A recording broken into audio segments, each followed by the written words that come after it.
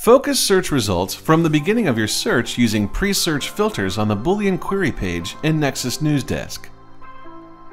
Select from available filters by opening the More Filters link under the search box. Search terms in the headline of an article, or use the keyword position to find terms within the first 100 words in an article.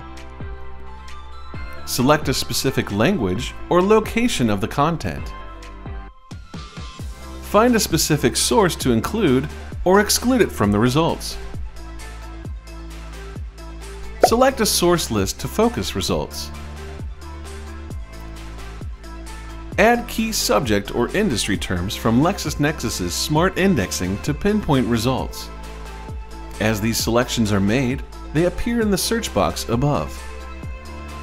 Exclude web sources that have paywalls or registration requirements from within the Extras tab.